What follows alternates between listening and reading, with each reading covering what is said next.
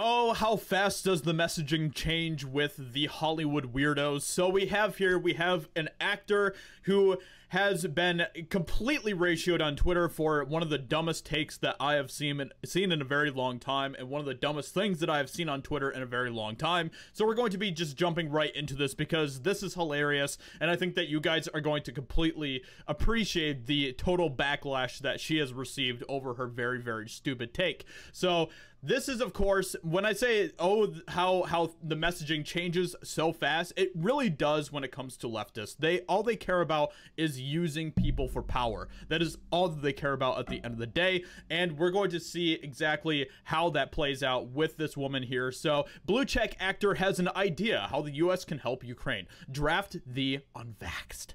There's not much to this tweet, so there's not much to say, but actor Angela Belcamino responded to President Joe Biden's statement on Russia's invasion with this hot take. As Twitchy reported earlier, this is the same person who tweeted in 2021 that she could now wake up without anxiety that my president started a world war.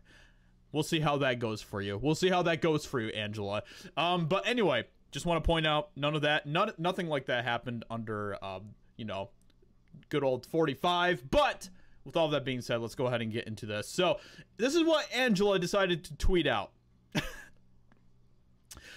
Draft the unvaccinated.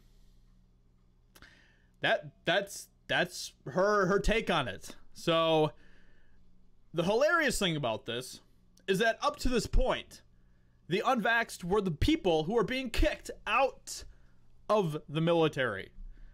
And as you can see, that is exactly what people are saying with the clapback. Who wants to tell her? The unvax can't serve in the military, Angela. Draft them? They're kicking them out, dumbass. And indeed they are. First, people literally want to kick out the unvax from the military, from the army. Now you want to force them to fight your wars, which isn't. But that is the point, is that all the leftists want to do is they want to use, they want to weaponize people. And it doesn't matter. They will change their they will change their narrative, they will change their their opinion, they'll change their messaging on a dime. If it serves them if it serves them best and the power that they are trying to grapple from the rest of us. And that is exactly what they are doing right now.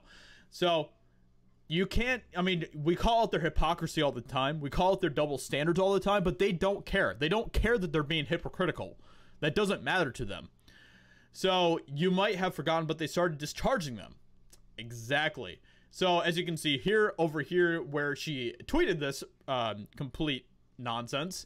Um, she is completely ratioed over on Twitter, which is hilarious. And this is, I think, the best reply from Angela herself, which is amazing. Imagine being this stupid. But here we are. So those are the the things that the the elites in Hollywood are pushing out these days are things like this. Of course, Angela, I just want to point out, is also totally irrelevant when it comes to Hollywood and honestly just culture in general. Of course, she's doing this just for clout. She's trying to show that she is indeed stunning and very brave for posting such things.